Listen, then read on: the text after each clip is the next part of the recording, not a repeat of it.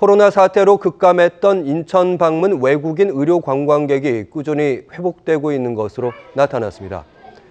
인천시는 지난해 인천을 찾은 외국인 의료 관광객 수가 2022년 7,905명 대비 84.8% 늘어난 14,606명으로 집계됐다고 밝혔습니다.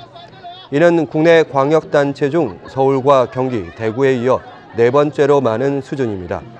인천에는 2019년에 역대 최대치인 24,864명의 외국인 의료 관광객이 방문했지만 코로나19 사태가 발생한 2020년 5,279명으로 급감했습니다.